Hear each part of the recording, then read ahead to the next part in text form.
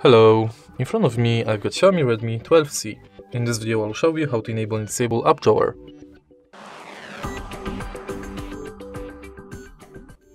As you can see right now, App Drawer is disabled. If you want to enable it, tap and hold on free space on the screen, go to More, enter More, Home Screen and select with App Drawer. To disable it, select Classic.